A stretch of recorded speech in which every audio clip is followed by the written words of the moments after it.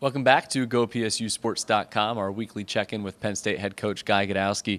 Guy, Friday night you get the win at Michigan, but your team, two times in that game, trailed by two goals. What did it say about the team to come from behind? I think it says a lot. I think we are worried about, I mean, in the past we were getting nervous when we were ahead, and, and, and at Yost Arena, that's a tough place. Mm. That's a real tough place to play and, and an even harder place to come back on. And I thought we just did a tremendous job being down two twice, coming back, and obviously to win it. And in the fashion we did with Casey Bailey scoring less than four seconds in and David Goodwin winning it in overtime doesn't get much better than that.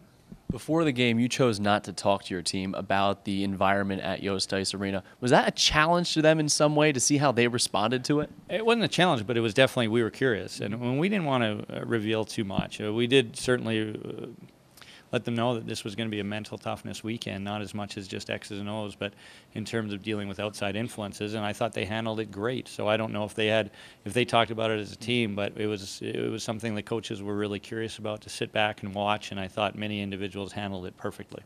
When was the last time you were involved in a game of that kind of wild finish. Yeah, well, geez, it's been a while. I mean, it's been a while, and and uh, that's why I do it. I mean, it doesn't get better. I mean, it's just such an unbelievable feeling, and so happy for the guys because they worked so hard, uh, and I think they know they've been improving, and and they're a much improved hockey team. But to be able to show it in that fashion is something pretty special.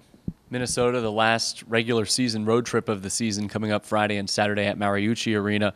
Are you excited to see how the guys stack up this time around? Another shot at the Golden Gophers on the road.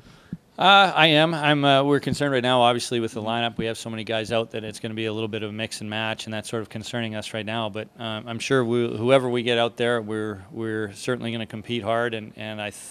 We feel, you know, we feel that we played a pretty good game against them here at Pegula Ice Arena, and we're, we're excited to get another shot at them. So it's going to be another great environment, another mental tough, toughness weekend, and certainly looking forward to it.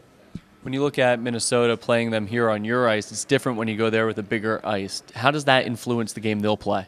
That they'll play, yeah. it might. I mean, as far as what we'll play, uh, we're again, we're not going to talk too much about it. I think when you when you do focus on that, you end up thinking and in hockey, you think you're dead. You, you have to react. And so we are going to talk a little bit about playing the dots, not the boards. But for them, I'm sure it, it is a, diff- a little difference in terms of attacking the zone. They do have a ton of speed, and their D men get involved so well that uh, when they have a little, a little more room to get involved, I think that's something we're going to have to be aware of. Guy, thanks. Thank you. Guy Gadowsky with us here at Penn State at Minnesota coming up this weekend.